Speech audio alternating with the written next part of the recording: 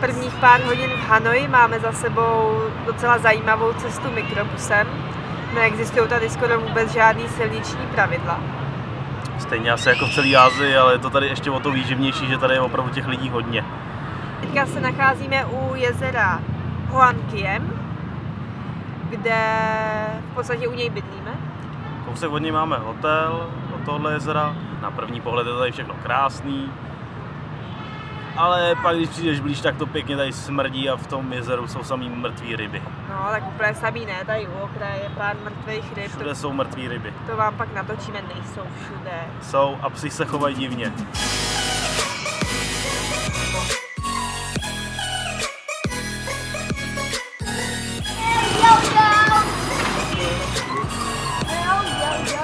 Chili tomato sauce. Yeah, chili and tomato.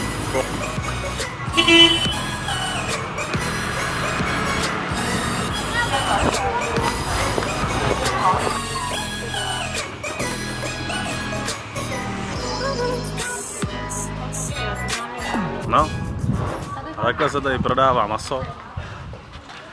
Leží to tady na sluníčku, lezou potom mouchy, pak přijede paní na skútru, vyskočí, omaká to rukama a řekne tohle chci.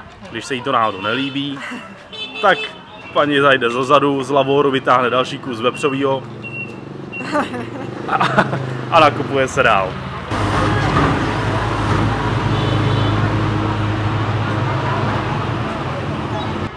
Máme za sebou první street foody. Jsem z toho trochu rozpačitá. V podstatě se bojím ochutnat úplně cokoliv, co tady je. Tak jsme nakonec asi po dvou obejití tady jednoho bloku šli uh, někam, kde je hodně lidí. A mají tady docela dobrý fo. Je to úplně jiný než uh, fo u nás v Česku, viď Tome? Je to úplně jiný. Tomáš, Teda to trošku pálí, ale Tomáš si to trochu vylepšil. Pro příště no. Ale luxusní závitek. Uvidíme, jak mi bude zítra.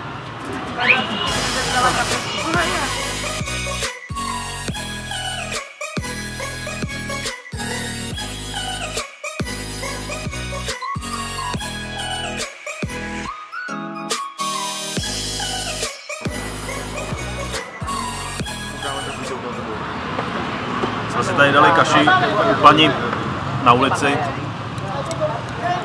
Jsme trošku zase překvapení z toho, protože už je to dneska druhá věc, kterou jsme si mysleli, že si koupíme a bude sladká, ale je zase slaná. První věc byla směs ovoce, kterou jsme mysleli, že je obalená v cukru a byla obalená v soli a čili.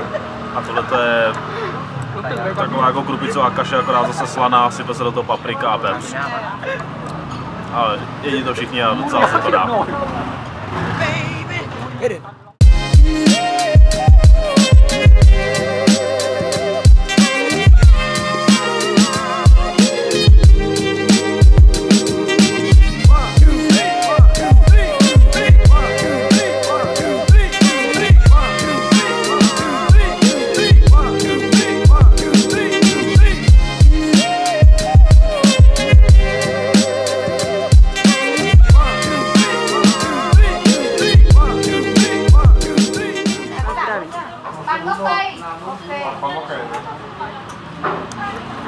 moc dobrý.